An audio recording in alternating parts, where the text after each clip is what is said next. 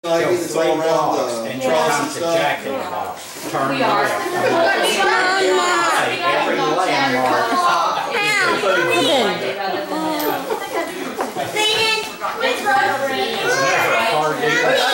it? Uh, Show me. Show me. Yep, it's stuff that goes with Emily.